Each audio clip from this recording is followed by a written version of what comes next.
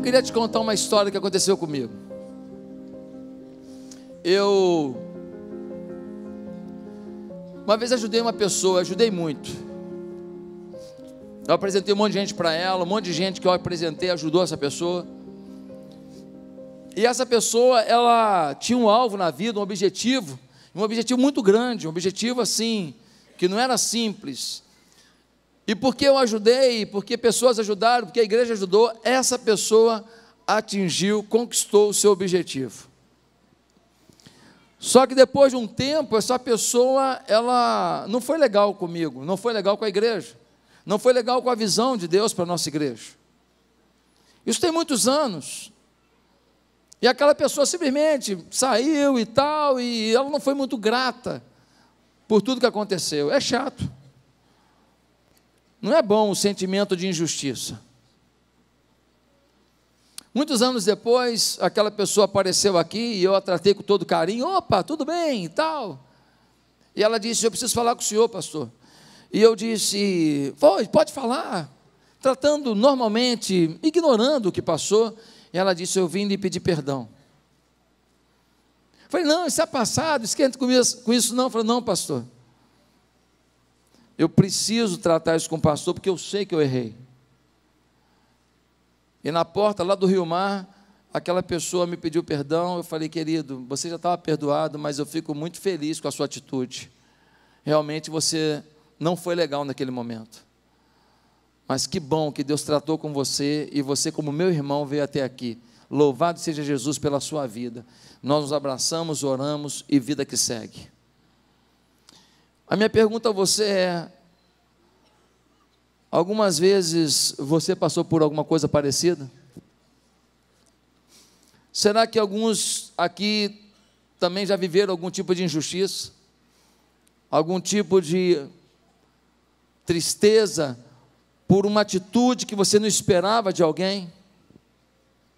É o caso da mãe que dá a vida por um filho e o filho troca de ferradura todo dia porque só dá coisa.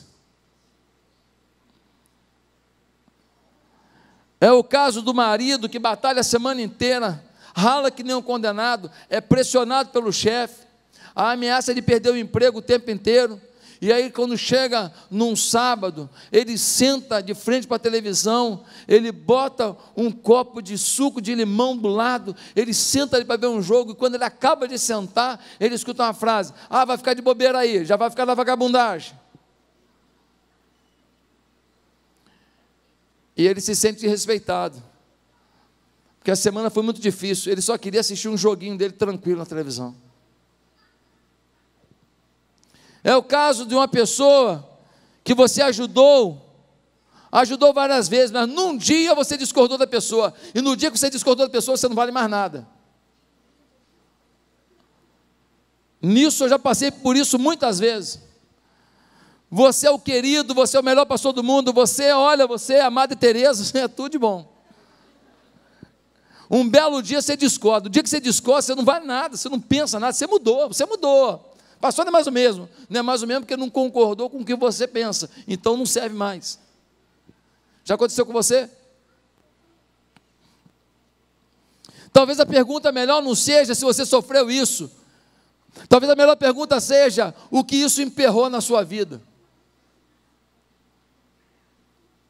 Talvez a melhor pergunta é o que está sendo bloqueado na sua trajetória por causa dessa frustração, dessa injustiça, dessa ingratidão, desse desrespeito. José, ele é o personagem que nós estamos estudando nesses dias. E José, ele foi extremamente maltratado, primeiro por sua família, seus irmãos o venderam como escravo. Ele era o filho, o filho queridinho, e agora ele é escravo no Egito mas ele também foi muito maltratado pelas restrições inesperadas. Num dia ele tem tudo, num dia ele tem televisão no quarto, num dia ele tem Playstation, num dia ele tem a geladeira cheia de iogurte, num dia ele tem um monte de facilidades, ele tem dinheiro para ir no Outback, ele tem dinheiro para ir no McDonald's. No outro dia ele não tem uma caneta Bic, ele é um escravo. Essa foi a realidade de José. vendido pelos próprios irmãos para o Egito como escravo. Ei, querido, nunca ter é menos mal do que ter e perder. Nunca ter é menos mal que ter e perder. Quem nunca teve não sabe como é, mas quem teve e perdeu sabe o que jogou fora. E às vezes jogou fora por pura negligência. Às vezes não, mas às vezes sim. E o pior de tudo é que essas coisas todas vão marcando a nossa vida e às vezes a gente nem se dá conta que elas estão presentes. Alguma coisa que nos marcou está conosco. Quais são as injustiças? Quais são as masmorras que estão afetando a nossa vida? José, ele foi jogado numa masmorra, por quê? Porque uma desmiolada sexual, a mulher do seu chefe, a mulher de Potifar, quis se deitar com ele, ele disse: não. Ela vira para o marido e fala: ele tentou me agarrar, ele tentou me agarrar, ele tentou me agarrar. O marido, se tivesse acreditado para valer, na minha opinião, teria mandado matar José. Ele tinha poder para isso. Ele não faz, de alguma maneira, ele está em dúvida sobre isso. De alguma maneira, ele está certo disso. Ele prende numa masmorra, um lugar subterrâneo, um lugar sombrio, um lugar triste, um lugar lúgubre. Imagina o que é uma masmorra naquele período. Meus irmãos, se hoje prisão não é lugar bom naquele período, devia ser o lugar mais fedido, mais cheio de lacraia, de rato, de barata que você já imaginou na sua vida. Um lugar de doença, um lugar de tosse, um lugar de alergia, um lugar de micose, um lugar de problemas é, de respiratórios certos. É lá que José está, por causa de uma injustiça. Uma mulher mentirosa quis se deitar com ele e ele disse não. Quais são as injustiças, as masmorras sobre as nossas vidas? Pelo menos quatro áreas. Primeira área de masmorra sobre a nossa vida: injustiça no trato familiar. É fácil maltratar quem vive conosco. E o pior de tudo que quando a gente maltrata alguém que vive conosco, toda vez que a gente encontra, a gente tem a oportunidade de maltratar mais. E abrir ainda mais a ferida que já está aberta. Tem pai que parou de falar com o filho por anos. Motivo: o filho se converteu. Estou falando de caso real. Uma menina, lá onde eu fui pastor em Patinga, a mãe perturbou a menina, infernizou a vida da menina. Por quê? Porque a menina foi para a igreja, mas a menina antes para a igreja fumava maconha, vivia nos bailes, estava tudo bem. Quando a menina foi para a igreja, a mãe perturbou até a menina sair da igreja. Uma menina linda. Foi viver o mundo, infelizmente.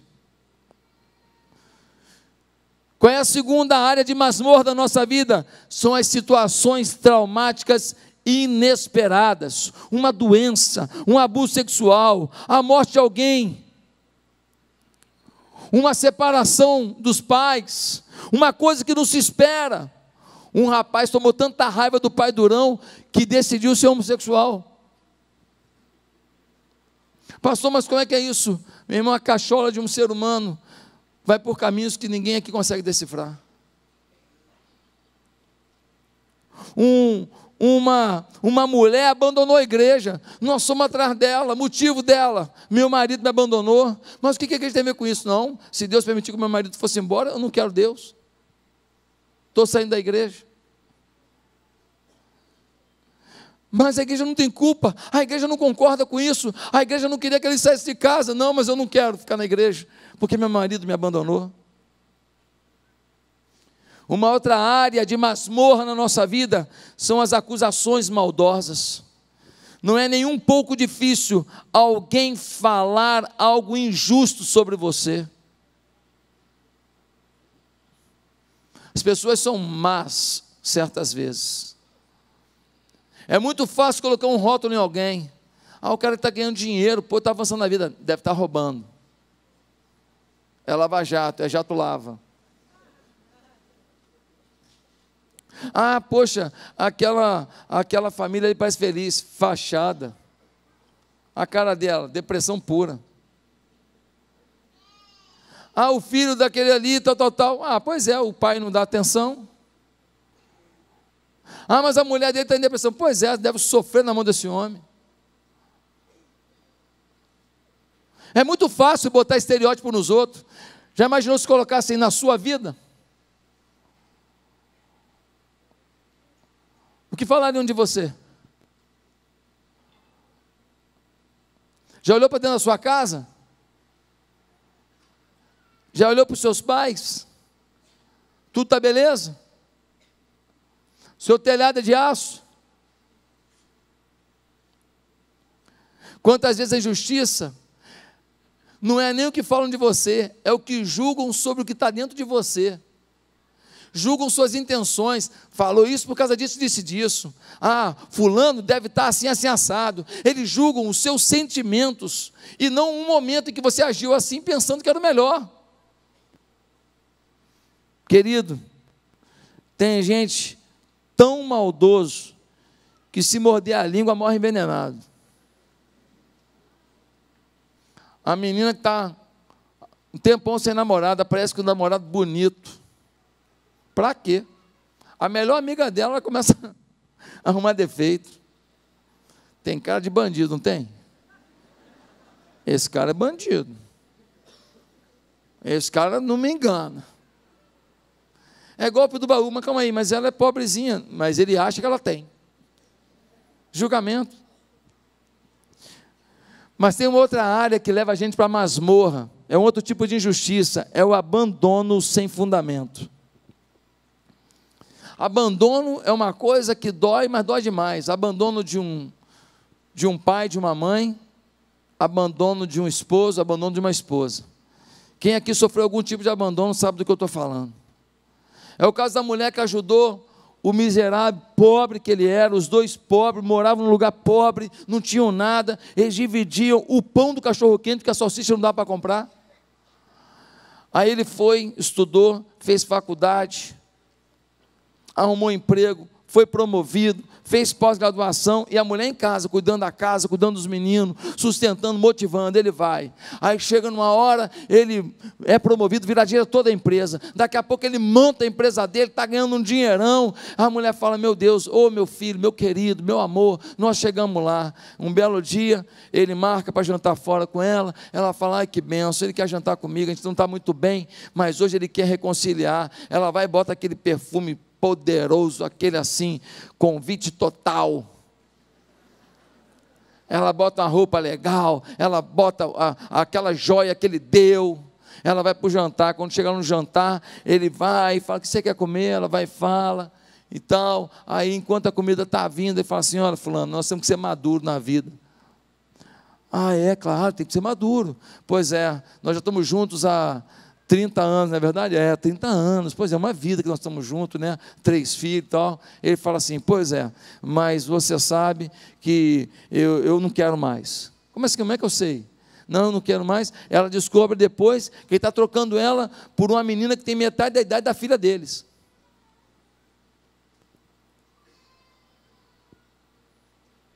Abandono, injustiça, tristeza. Eu não sei se teve algum abuso na sua vida. Eu não sei se tem alguma dor na sua vida. Eu não sei se tem alguma coisa maltratada na sua vida. Eu não sei se tem alguma coisa que te angustia na sua vida. Eu não sei se tem alguma coisa que te remete a sentimentos e pensamentos doloridos demais. Mas ei, eu queria te falar uma coisa: a vida de José nos ensina a vencer isso. E se você não vencer isso, você não está confiando em Deus. Porque Deus te dá força para vencer isso hoje. A partir de hoje, uma nova etapa tem que se instalar na sua vida e na minha. Queridos, José está numa prisão. Lá ele começa a chefiar a prisão. Dois homens chegam à prisão. O copeiro é quem prova a comida do rei antes de entregar para o rei. Se tiver que morrer envenenado, morra ele primeiro. E o padeiro do rei é quem prepara comidas, os pães do rei. Os dois fizeram alguma coisa que faraó não gostou. Mandou os dois para a prisão onde José estava. Os dois têm um sonho. Um sonha com os cachos lá, o outro sonha com pães. são três cachos, são três pães. José interpreta os sonhos e diz: Olha, essa parte que você está falando aí para mim, de três cachos, são três dias. Daqui a três dias você vai estar de novo do lado de Faraó, dando vinho na mão dele. O padeiro fica animado demais, falando: Nossa, é mesmo? E eu sonhei com três pães, só que tinha umas aves que vinham e comiam os pães. Pois é, essas três cestas de pães aí, esses três pães aí, deixa eu te falar uma coisa. Daqui a três dias você também vai estar na presença de Faraó, mas não vai permanecer. Ele vai mandar te enforcar e as aves do céu vão comer a sua carne. Quando o profeta é de Deus, ele não fala só coisa boa, não. Agora tem uns caras por aí que só fala coisa que o povo quer ouvir. Não é profeta de Deus, é mentiroso. Quando a gente é profeta de Deus, a gente é honesto, é sincero. E agora José fala isso. E ele pede: ó, lembra de mim quando você estiver lá com o Faraó, o que o copeiro não lembrou. Nessa triste passagem, nesse episódio complexo de morte, inclusive, nós temos aqui algumas orientações em como lidar com as injustiças. O que fazer quando a injustiça nos atingir. Afinal, José estava numa masmorra por causa de uma injustiça. Ele nada fez, mas uma mulher lhe acusou indevidamente. O que fazer quando a injustiça nos atingir? Primeiro, não descarregue nos outros suas frustrações. No versículo 22 e 23 do capítulo 39, nós lemos algo muito legal. O carcereiro encarregou José de todos que estavam na prisão, e ele se tornou responsável por tudo que lá sucedia. O carcereiro não, não se preocupava com nada do que estava a cargo de José, porque o Senhor estava com José e lhe concedia bom êxito em tudo que realizava. José tratava tão bem as pessoas, José era tão cordial, José era uma pessoa tão amiga, José era uma pessoa tão diferenciada, que quando ele chegou na prisão, o carcereiro falou: Esse moço é diferente. Ele não chegou na prisão ameaçando todo mundo de morte, ele chegou na prisão murmurando o dia inteiro, ele não chegou na prisão com raiva dos outros, ele não chegou na prisão e ele pensando: como é que eu posso um dia me vingar da mulher de Potifar? Não, ele chega na prisão e não descarrega nos outros que fizeram com ele. E o carcereiro fala: Você agora vai assumir a prisão, você vai controlar o banho de sol, a hora do futebol, a hora da comida, você vai organizar a limpeza da prisão para ninguém ficar doente, para ninguém ficar com infecção, porque você é diferenciado, você tem um jeito diferente, você é agradável um jovem muito forte trabalhava na área de produtos médicos. Um dia, uma senhora, dirigindo mal, bateu no carro dele. Fez uma barbeiragem à mulher e bateu no carro dele. Esse jovem desce do carro. Quando ele sai do carro, ele é um armário. Ele é um Hulk. Ele é grande. Aquela mulher franzina, fez a besteira, vê aquele homem saindo do carro, na cabeça dela, ela criou um estereótipo de que, ai meu Deus, vai gritar comigo, vai falar comigo, vai fazer isso comigo. Ela criou isso porque a aparência de uma pessoa não tem nada a ver com isso, mas ela criou isso. E quando ele desce do carro, com o carro dele quebrado, estragado por causa da negligência daquela senhora, ele vai até ela e fala assim: Senhora, como é que a senhora está? Ela fala: Olha, foi sem querer, porque eu não reparei isso. Senhora, esquece o carro. Como é que a senhora está? Como é que eu posso te ajudar? A senhora está sentindo alguma coisa? Não, mas olha só, é que eu não vi então. Senhora, relaxa. O carro a gente conserta depois. A senhora está com dor em algum lugar? A senhora quer se levantar? Quer que eu lhe ajude? E aquele homem esqueceu o seu carro, esqueceu que o seu compromisso foi adiado, esqueceu o seu prejuízo e cuidou dela. Ele só não sabia de uma coisa: aquela senhora, a família dela era dona de hospitais e clínicas. E quando acabou aquilo tudo, ele se torna um amigo daquela senhora e ela pergunta: Você trabalha com o que? Ele fala: trabalho com material médico. E aquela senhora fala para os filhos dela: Esse moço foi muito bom comigo. E agora, aqueles hospitais e aquelas clínicas começam a comprar tudo quanto é material que ele vendia com ele. Enriqueceu o rapaz. O rapaz comprou um monte de coisa, mudou a vida dele. Ele deu um up na vida. Depois eles não continuaram comprando depois de algum tempo, tal, mas durante muito tempo comprava, olha, a gente tem esse preço, quanto é que você faz? Ele fazia e ele começou a vender, vender, vender, e ele foi muito bem sucedido, porque um dia um dia, ele não descarregou suas frustrações em cima de ninguém. Sabe o que acontece? Tem muita mãe injustiçada pelo marido descontando o filho. Tem muito homem que é maltratado no trabalho e descarrega na mulher.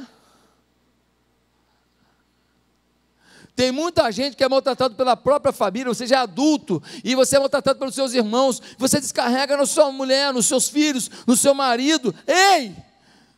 Por favor, não descarregue nos outros suas frustrações, não te ajude em nada. Ninguém quer ficar perto de alguém que o tempo inteiro fica mendigando bondade, dizendo: a vida é ruim, a vida é isso, você é isso, você é aquilo, criticando. Ninguém aguenta isso. Ninguém aguenta ser o tempo inteiro espetado. Você afasta os propósitos de Deus, você afasta as pessoas que podem te ajudar. Quando você descarrega nos outros as suas frustrações. Segundo lugar, o que fazer quando a injustiça nos atingir? Se concentre no que há a fazer e não no que fizeram com você. Quando José chegou na prisão, ele já pegou uma vassoura, falou: Pô, não arrumar desse negócio aqui, vou ter que ficar aqui mesmo. Já vou limpar, tem um pano aí, já passou um pano. Já foi para a cozinha, falou: Posso ajudar na cozinha? A comida está ruim demais, eu posso ajudar aí? Ele começou a ajudar, ele começou a melhorar. Pastor, o que ele poderia ter feito? Sabe o que ele poderia ter feito? Ele poderia ter se concentrado no que fizeram com ele. Ele poderia chegar numa parede e falar: mulher de Potifar. Embaixo desenhar uma vaca. Depois uma cadela. Cada dia um bichinho. No, depois uma serpente. Cada dia um bichinho em homenagem àquela mulher. Ele poderia ficar pensando no que fizeram com ele e não no que havia para fazer. Sabe por que, que muitas vezes você não sai do lugar? Porque você fica tão focado em ficar pensando o que fizeram com você, que você não se alimenta de esperança para poder empreender alguma coisa melhor. Tem gente que chega numa célula, e quando chega na célula, ele quer contar que foi injustiçado, que foi isso, que foi aquilo. Legal, isso é bom, isso é importante. Foi uma terapia, você abriu o coração. Agora, na semana seguinte, a pessoa volta. Gente, sabe o que aconteceu essa semana? Essa semana ela falou isso, isso e isso. Ele falou isso, isso e isso. E aí, alguém te corta. Quando alguém te corta, fala, não, irmão, tá, depois a gente vai orar, mas vamos voltar aqui para a célula. Fica chateado. Poxa, não deixaram contar o meu problema. Não. Não deixaram você ficar se alimentando daquilo que te faz mal. Você já contou o seu problema, você já pediu oração. No seu discipulador você vai contar um pouco mais, mas na célula você tem que sair dali com esperança. Se você chorar, chorar, chorar, e só falar o que te faz mal, você não sai dali mais vitorioso. Tem gente que começa a se vitimizar além da conta. José aceitou novos desafios. Ele assumiu o controle da prisão. Dizem que mente vazia é oficina do diabo. O que dizer de uma mente que não está vazia, mas está cheia de lembrança de ira, revolta e dor? Se mente vazia, vazia é oficina do diabo, uma mente cheia de dor é oficina de quê? Da diabada toda. Todos eles juntos, não é possível. Querido, um cavalo caiu num buraco aí. O cavalo caiu no buraco. Aí foram lá falando: o cavalo caiu no buraco, o cavalo não consegue sair. E o cavalo tentando pular para fora do buraco, não conseguia porque era alto. Tentaram tirar o cavalo, jogaram uma corda, puxar o cavalo, tonelada de peso. Não tinha como tirar o cavalo, e o cavalo sofrendo, e cada vez que ele tentava sair, se machucava. E o pessoal falou: Meu Deus, esse cavalo vai morrer, todo machucado, sofrendo, angustiando. Não, vamos abreviar a dor dele. Vamos enterrar ele para ele morrer sufocado logo, pelo menos não ficar sofrendo muito tempo. Pegaram umas pás e começaram a jogar terra em cima do cavalo. Cada vez que jogavam uma pá de terra no cavalo, o cavalo. Então ele joga a terra em cima do cavalo, o cavalo. E joga a terra no cavalo, o cavalo vai. Lá pelas tantas, o cavalo pulou, pulou para fora do buraco. A terra que era para enterrá-lo virou a base para soltá-lo. Você tem que fazer uma decisão na vida. Você vai sacudir quando jogam uma pá de terra em cima de você? E vai fazer disso um aprendizado para o seu salto de vitória? Ou você vai ficar se lastimando o tempo inteiro, se concentrando no que fizeram com você, lamuriando as dores da vida que todo mundo tem, e achando que você é a vítima do mundo, que você é o centro do mundo, e que todo mundo tem que chorar com você o tempo inteiro, e a sua vida não melhorar? Sacode a terra aí, irmão. Sacode a terra porque essa terra vai caindo, vai virando a base, a base, para dar um salto de vitória. Você tem que acreditar que Deus está com você. Sacuda a sua terra. Em terceiro lugar, quando vier sobre você injustiça, não alimente o ressentimento. Versículo 23 vai dizer que o Senhor estava com José. Irmão, José estava tão preocupado em fazer algo bom, que não tinha tempo de alimentar dentro de si o mal. Ele decidiu fazer o bem, melhorar o lugar que ele estava, ajudar pessoas, viver alguma coisa melhor. Mas há pessoas que não, elas se alimentam do ressentimento. Alguma coisa que a tua sogra te falou quando você começou o namoro. Tem 15 anos isso, até hoje você fala com teu marido toda vez que vocês discutem essa porcaria dessa frase maldita. Uma palavra que essa mulher te falou num dia que ela estava na TPM e estava frustrada. Foi o pior dia da vida dela. E ela falou um negócio para você assim que te botou embaixo embaixo do pé do, do, do cavalo que saltou. Você, em vez de lembrar do dia que ela falou, eu te amo, você, em vez de lembrar do dia que vocês tiveram uma noite íntima maravilhosa, top das galáxias, flutuante, não, você fica lembrando dessa frase que faz vocês se afastarem, que faz vocês viverem uma injustiça. Você reparou que José, na história dele lá na frente, ele vai virar governador do Egito, não é verdade? Você reparou que ele não se vingou da mulher de Potifar? Ele era governador do Egito. Ele podia falar assim: o mundo dá volta, hein? Traz a mulher de Potifar lá. Você repara que no final da história de José, nós vamos estudar isso mais para frente. Ele perdoou os irmãos que o venderam. Querido, só faz isso quem não transforma injustiça em ressentimento.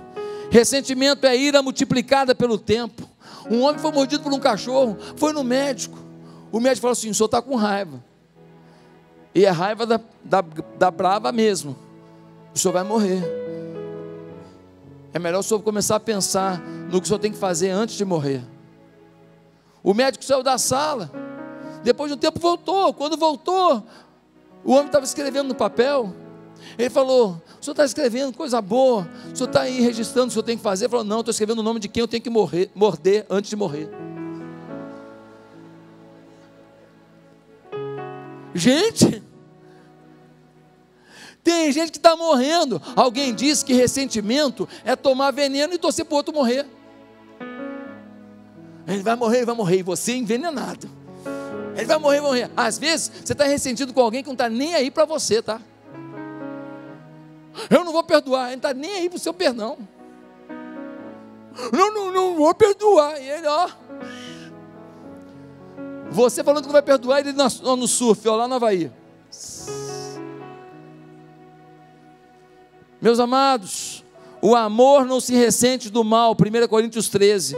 O amor não guarda rancor, 1 Coríntios 13, versículo 5. A gente não come coração humano, mas olha, se servisse uma churrascaria coração humano, conforme o coração, você morrer envenenado na hora.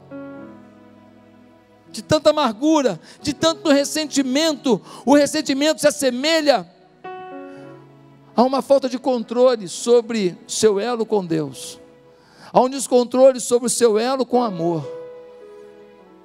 A amargura contra um ex-marido, um patrão, contra um amigo, um familiar, vai dar o tom da sua vida. Quando decidimos ficar presos aos ressentimentos, renunciamos o controle de nós mesmos e sobre o nosso futuro. Se você não vencer o ressentimento, ele vai determinar o seu futuro. Mas se você vencer o ressentimento, você toma o controle de novo. Quem vai perder o controle do seu futuro? Queridos, guardar ressentimento não vale a pena. Uma pessoa foi no médico, estava com tanto ressentimento, o médico falou: ó, ou você vence isso, esse ressentimento, ou eu vou amputar o seu trato intestinal. Você está complicando a sua saúde toda. Aquele homem foi, resolveu tratar aquilo, perdoou, sua saúde voltou, seus hormônios fluíram, suas substâncias internas começaram a dar melhoria de vida. Gente, tem muita gente que tem câncer, questão genética, questão de alimentação, questão disso, questão daquilo, mas tem muito câncer que é fruto dos nossos ressentimentos, mágoas, tristezas não tratadas. Em quarto lugar, quando alguma injustiça bater a porta da tua vida, não perca a sensibilidade de se importar com alguém além de você. Fala comigo, além de você. Não perca a sensibilidade de se importar com alguém. Repita comigo. Fala assim, além de mim. Dá uma olhada no capítulo 40, versículo 7. Nós lemos assim: Por isso perguntou aos oficiais de Faraó, que estavam presos na casa do seu senhor: Por que hoje vocês estão com um semblante triste? O cara está numa masmorra, porque uma mulher mentiu sobre ele, uma mulher o humilhou, falou que ele é um estuprador, falou que ele é um homem mau, um homem perverso, ele é um servo de Deus, foi humilhado, foi acusado, agora ele está numa masmorra. Mas quando ele viu uma pessoa triste, ele falou: Por que vocês estão assim? Ele descobriu, José, que o segredo para tratar o nosso ego é cuidar do outro. Ele descobriu que se ele quiser vencer as injustiças, ele tem que se importar com alguém além dele. Na situação de José, muitos diriam, cada um com seus problemas, ema, ema, ema, cada um com seus problemas. Eu não vou me importar com o problema dele, não, porque eu já estou cheio de problema. Eles estão tristes, o problema é deles. Eu tenho motivo para a beça para estar triste e estou aqui trabalhando, mas não. Na prisão, José resolveu motivar pessoas.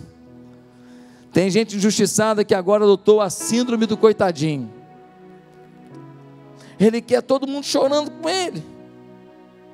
Ele é um injustiçado do mundo e fica que nem aquele menino que tem um machucadinho, uma, uma ralada aqui. E aí, quando está quase curando, o menino vem e ó, cutuca, sim ou não? Aí sangra de novo. Aí fala, mãe, está sangrando. A mãe fala, não fica tite não. Está sangrando, mãe. Não fica tite não. Aí começa a curar de novo. Botou remedinho, tá quase sarando. Quando tá quase sarando, o menino vai com o dedo e ó. Tira a casquinha de novo do machucado para sangrar de novo. Ei, tá na hora de deixar curar. Pastor, mas eu errei demais. Onde você errou, você tem que confiar na cruz de Cristo. Se você confiar no julgamento dos homens e no perdão dos homens, você dançou. Porque tem gente que nunca vai te perdoar. Onde você errou, existe um sangue derramado na cruz. pela sua vida. Não renegue esse amor de Jesus. Não renuncie o perdão de Jesus, mas tome jeito na sua vida. Decida viver de um jeito que agrade a Deus. Pare com o refrão do ressentimento. Pare com o refrão do ego. Se preocupe com alguém. Enquanto eu cuido de alguém, eu cuido das minhas feridas. Enquanto eu motivo alguém, eu me motivo. Enquanto eu apoio alguém, eu me apoio. Enquanto eu mostro o caminho da esperança para alguém, a esperança me toma. Você pode dar uma salva de palmas para Jesus? Glória a Jesus, glória a Jesus. Em quinto lugar, quando a injustiça bater a porta da sua vida, seja honesto com as pessoas. Pare de dissimular o que você sente. Não, está sentindo alguma coisa? Não, estou tudo bem. Mas você está triste, ficou chateado comigo? Não, não, eu, não, chateado não. Você não precisa ficar chorando o tempo inteiro, se lamuriando o tempo inteiro, mas você não precisa mentir. Dá uma olhada o que acontece no versículo 18 e 19. No versículo 18 e 19, o padeiro está crente, crente que vai ser liberto. E disse José: essa interpretação, as três cestas são três dias, dentro de três dias o farol vai decapitá-lo e pendurá-lo numa árvore, e as árvores e as aves comerão a sua carne. No meio da sua injustiça, uma coisa José manteve: a honestidade. José feira para o homem e diz: Você vai morrer em três dias, amigo. O farol vai mandar te decapitar. Melhor se arrepender logo diante de Deus. Ele foi honesto sobre o que via, sobre o que sentia, sobre o que entendia. Ei, na hora da injustiça, mantenha a sua integridade, mantenha a sua honestidade. Você não precisa de forma nenhuma fingir rindo para quem você odeia, aplaudir quem você inveja, tentar bancar o altruísta, mas com ódio por alguém. E cada boa ação que você faz, mais aumenta o ódio por esse alguém. Pare com isso. Coloque para fora onde você se sentiu injustiçado, mas fale com a pessoa certa. E não na postura de acusar, mas de procurar ajuda para curar a sua vida. Te magoou isso? Te magoou esse comportamento? Pense, me magoou. Segundo, fale com Deus. Deus, isso me dói muito. Terceiro, procure alguém que possa te ajudar a curar isso. E então você pode procurar alguém que te feriu e falar: olha, eu vim aqui tratar com você já falei com Deus, falei comigo mesmo, procurei a ajuda de uma pessoa que eu confio e agora chego a você, já com isso mais ou menos resolvido, mas queria te falar, isso me doeu. É muito mais sábio do que já sair por aí falando mal da pessoa, detonando a pessoa, tentando menosprezar a pessoa e achando que você vai vencer a pessoa por acusá-la. Em sexto e último lugar, quando a justiça chegar para você, tome posse da visão de que no dia da injustiça, o Senhor nunca vai abandonar os que nele creem. O Senhor nunca vai te abandonar. Pastor, eu fui violentado, soube de uma moça dia desse. Ela foi violentada. E o pior de tudo, ela ficou grávida. Todo mundo botando pilha, mata, mata, mata, aborta, aborta, aborta. Mas ela ouviu pessoas de Deus que disseram: Deus tem um plano na vida dessa criança, independente da forma que ela foi gerada. O namorado da moça casou com ela, registrou o filho. Eles têm uma vida linda e um filho lindo, porque Deus dá novos rumos para as nossas dores. Dá uma olhada na situação, câmeras em mim. José estava onde? Na prisão. Quem foi falar na, quem foi parar na prisão? O copeiro e o padeiro de quem? Do faraó.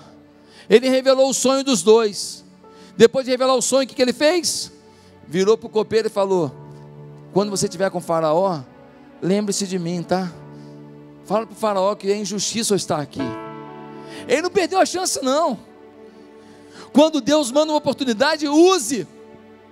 No meio da tua injustiça, Deus vai mandar uma oportunidade. Deus manda alguém, Deus manda uma porta, Deus manda um emprego, Deus manda uma proposta. Fique atento, porque muitas vezes Deus manda e você não vê. Deus fala e você não ouve. Deus abre e você fecha. Deus escancara e você explode aquela oportunidade. Meus amados irmãos, quando ele viu o copeiro, ele revelou, ele não ficou acanhado, não. Ele falou: ó, quando estiver lá com o faraó, fala para ele que tem um homem aqui que é homem correto, tá? É uma injustiça eu estar preso aqui. Fala para o faraó que eles não deveriam fazer isso comigo. Eu te pergunto, o copeiro falou? Falou nada. Chegou lá, foi trabalhando, nem lembrou de José. Até que um dia, nós vamos estudar em outros momentos, até que um dia o faraó tem um sonho e o copeiro lembra: olha, tem um homem na cadeia que é homem de Deus, e ele revela sonho. E José é trazido, ele revela o sonho e se torna governador do Egito. Ei, amigo, mesmo na masmorra que a injustiça te colocou, Deus está mandando copeiros para anunciar ao Rei dos Reis que você está na injustiça, mas que você pode sair para governar. Mesmo na masmorra da vida, mesmo na masmorra financeira, mesmo na masmorra emocional, ei, tem um copeiro que vai ser teu vizinho de quarto e um dia ele vai estar diante do Todo-Poderoso, falando: Olha, ajuda o cara lá. Ele vai estar diante de uma autoridade, dizendo: Ajuda o cara lá. Ele vai estar diante de um homem de Deus, de um empresário que pode te dar um emprego, não sei. Deus vai mandar o um socorro. Deus não falha. Pastor, mas por que eu estou sofrendo tanto? Eu também não sei.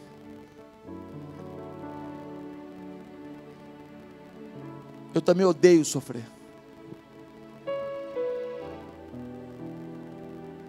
É muito lindo ouvir uma história de alguém que passou pelo sofrimento e que um dia, mantendo a fé em Deus, teve a vitória.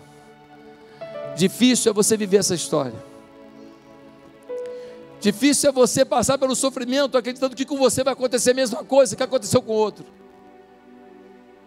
Difícil é você passar pela dor e manter a sua confiança em Deus e anunciar a grandeza de Deus esperando o dia da tua vitória, para você também ter a sua história para contar. José nos ensina que, mesmo nas masmorras da vida, o Senhor não nos abandonou, Ele continua conosco, Ele sabe a nossa dor, Ele vai enviar alguém para nos socorrer.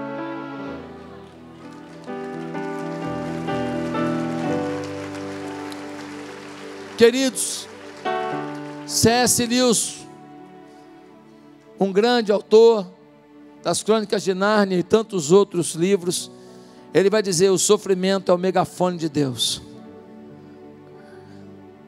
Tem coisas que a gente só aprende quando Deus grita no sofrimento. Ah, queridos, ele escreve no seu livro O Problema do Sofrimento. Deus sussurra em nossos prazeres, fala em nossa consciência, mas grita em nossos sofrimentos. O Charles Swindoll vai dizer: a desilusão é uma ladeira perigosa e escorregadia. Primeiro nos desiludimos com o nosso semelhante, em seguida passamos ao ceticismo. Em pouco tempo não confiamos em ninguém, nem mesmo em Deus. Fomos rejeitados. Aproveitaram-se de nós, fomos maltratados. Nunca encontrei um indivíduo que ficasse sinceramente decepcionado com a humanidade e que também não acabasse desiludindo de Deus as duas coisas andam juntas. O ceticismo é gerado nesse contexto. Cuidado, sua decepção com Deus pode interferir na sua confiança, a sua decepção com alguém pode interferir na sua confiança em Deus. É isso que o Charles Swinton está falando. E o Philip Yancey, em seu livro Deus sabe que sofremos, ele conta a história de um homem chamado Christian Ranger. Ele foi entregue aos nazistas pelo organista da igreja. Um irmão em Cristo, entre aspas, o entregou. E ele foi preso e ele sofreu muito. Quando ele sai e vão conversar com ele, Filipe vai dizer que nunca ele se detém no que ele sofreu. Ele passa ampassando por isso, ele passa rápido por isso. A conversa com ele é um relato do que Deus fez dentro dele no meio do seu sofrimento. Ah, meus irmãos, deposite agora sua mágoa, sua injustiça, sua insensibilidade aos pés do Senhor. Decida agora superar as suas injustiças, as suas mágoas. Faça como Jeremias disse: põe tua boca no pó, porque talvez ainda haja esperança.